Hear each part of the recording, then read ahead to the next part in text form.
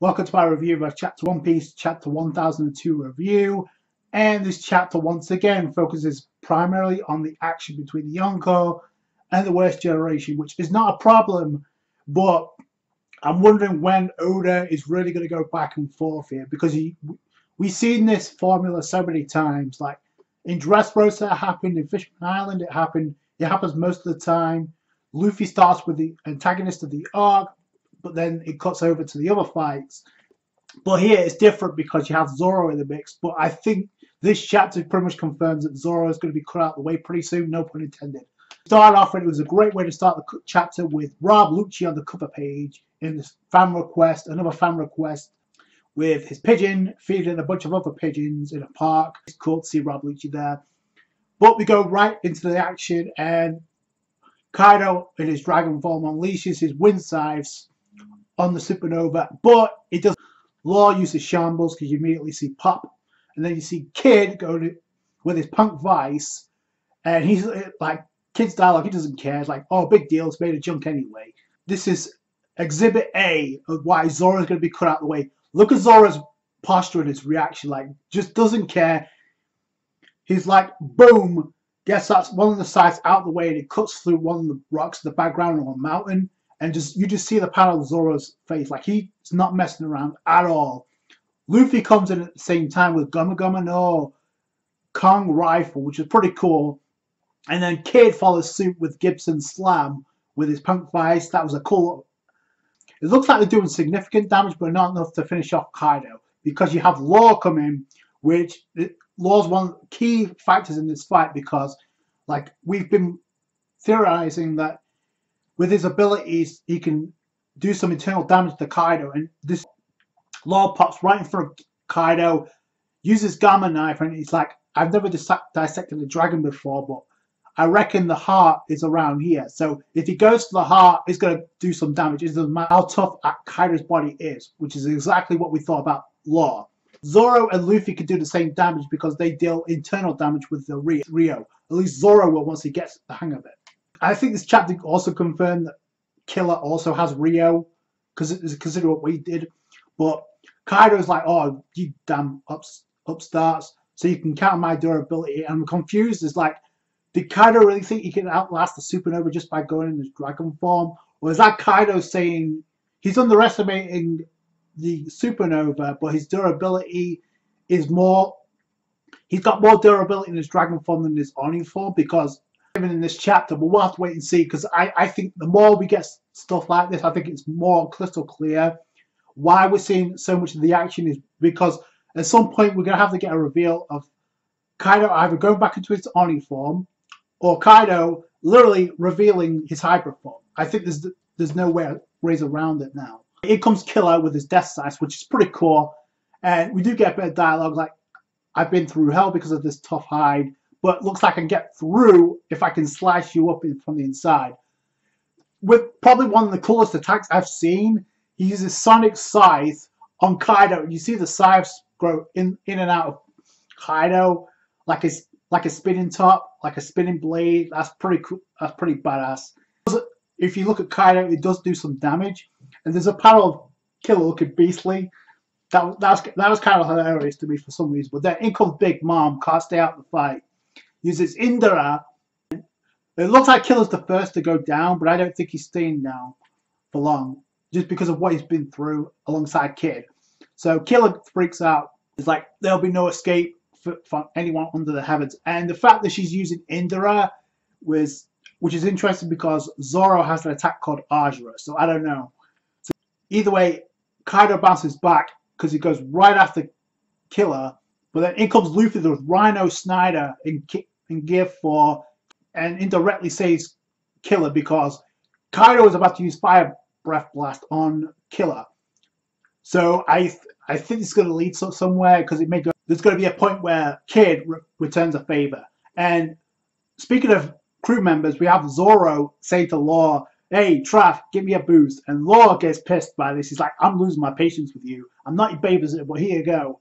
So he does it anyway. He uses shambles, he teleports Zoro right in front of Kaido because Kaido's about to use Fire Breath on Luffy, about to use Blast Breath Flame Slice on Luffy in King Kong in his Gear 4. I don't know, but this is exactly what I said in the last review.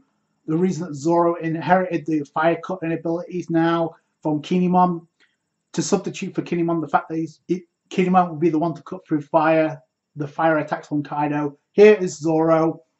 He cuts through it with one sword style. That's pretty badass. I we knew this was going to happen, but Big Mom looks shocked, and then Big Mom's the one that says, "Kaido, you better dodge it, because that's not your average sword." And finally, we get the acknowledgement. See the aura around Enma, Flying Dragon Blaze, as you see the attack.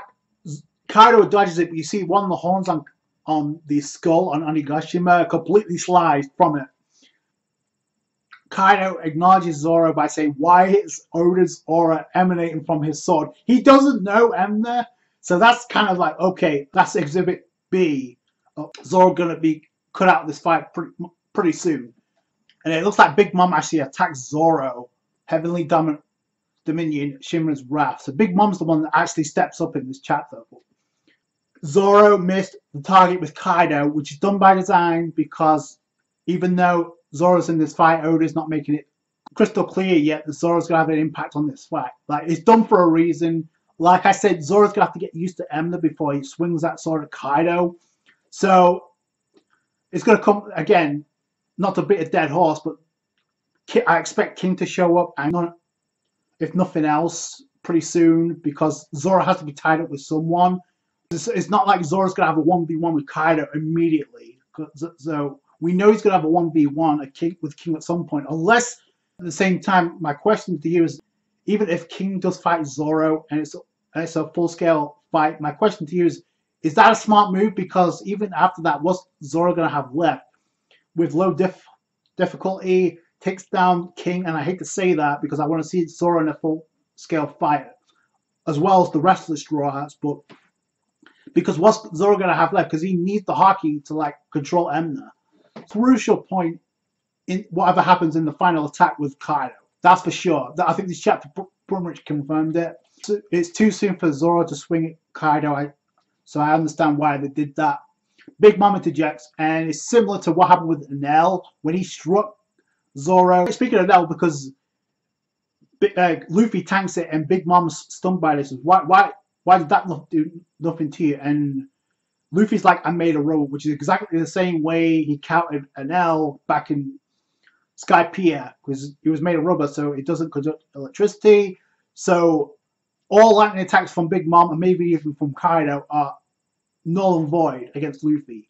Luffy's like, you're going to pay for what you did to Zoro. So again, the attack landed on Zoro, but if you notice, Zoro looks like he's like getting his bearings and heading elsewhere.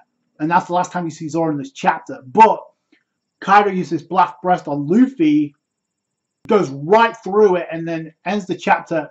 And then Kaido's like, what, what the hell is this? Is this a trick? Fire isn't effective either. And Luffy's like, nope, guts, Gomu Gomu no. Ends the chapter with Kong Gatling on Kaido, if used with Ryuo. And they're making an effort like this. This is going to be a deciding attack. Like, no, it's going to be cut away pretty soon. But yeah, this chapter was focused none other on the supernova and the Yonko. Again, another chapter where the that's been a focus, and I'm because of that, I'm pretty certain soon, especially with what happened with Zoro and Killer, we have to cut away to other members of the Tobi Roppo fight and the Straw Hats. I think it's just common sense. This is the second installment of the Yonko versus the Supernova, and I have to say, it's it's living up to the hype. Like, holy crap! Like, I have to say, despite Zoro getting one of the biggest moments of the chapter, despite not nailing Kaido, I have to say the coolest attack was Killer by far. Like I haven't seen anything like that, so that's pretty cool. I don't know if Killer's down for the count after Kaido's attack, but it could have ended up worse if not for Luffy. So I, I think that's going to be repaid back with Kid repaying a favor to Luffy at some point. I'm telling you right now, that wasn't done for no reason.